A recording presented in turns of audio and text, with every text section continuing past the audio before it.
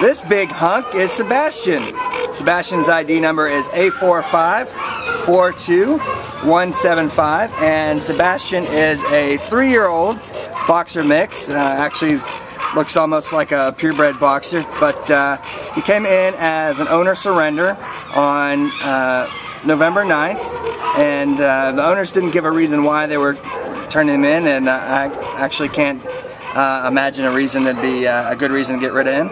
Um, Sebastian is 83 big pounds, so he's definitely going to need an owner who is familiar with large breed dogs, uh, probably not small kids, just because of his size he could uh, unwillingly knock them over. But you can see uh, he is just a big teddy bear. He's he's big, but uh, he's got a really gentle personality.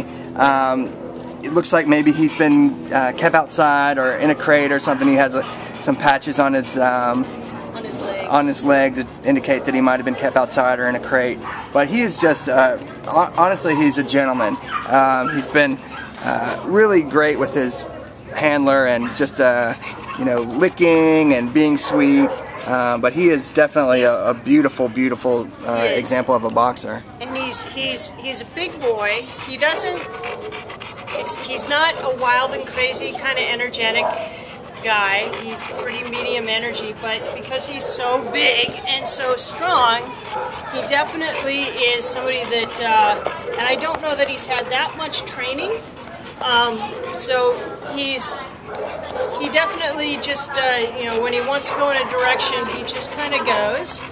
Um, but at the same time, he is not he's not got a frenetic energy at all. So I think he's going to adjust quite well to being in a home.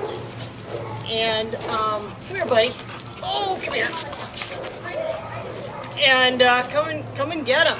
You're you're getting basically just an, an amazing specimen of boxer or close to it at uh, at your local shelter.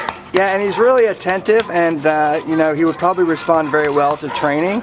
He he definitely um, enjoys being with the handler, and he definitely would enjoy being with the family. So he's not this uh, big guy who's just kind of doing his own thing. He does want to be part of a family. So come on down, meet the amazingly handsome uh, Sebastian today, and he'll be here at the Baldwin Park Shelter. What a good boy. Oh, yeah. Oh, yeah. Oh, yeah.